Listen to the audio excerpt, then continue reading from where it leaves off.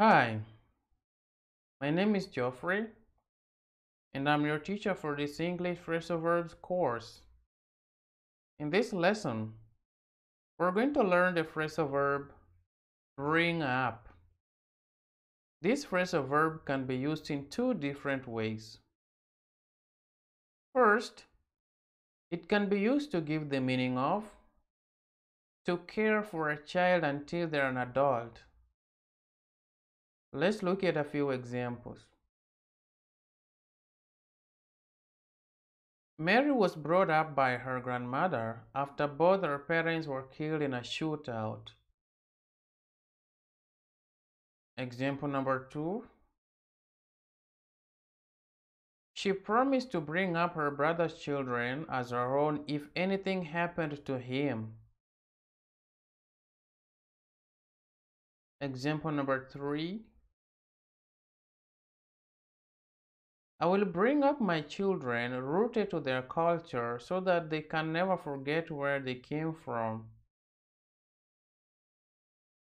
Alright.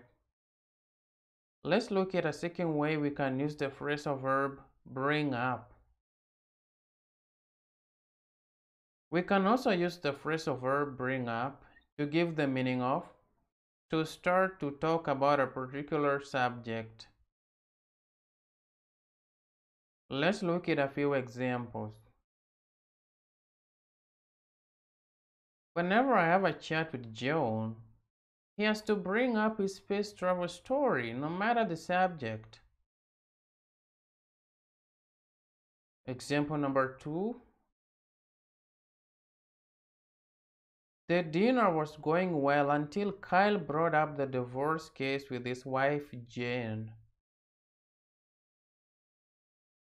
Example number three. Why do you always have to bring up the 2012 terrorist attack when given an opportunity to speak? Alright. There's another way we can use this phrasal verb. It can be used in an informal way which means that you can use it with people you know very well or in relaxed conversations. In this case, it can be used to mean vomit something. Let's practice it by in an informal way through the examples below. He was coughing so much, I thought he'd bring up his dinner. And lastly, I was so close to bringing up my lunch after witnessing that horrible accident. Alright, that's the end of this lesson. I hope you enjoyed the lesson. Ensure you use the exercises, like I mentioned earlier, at the end of this lesson to practice. It's only through consistent and constant practice that you'll master how to use these English phrasal verbs fluently.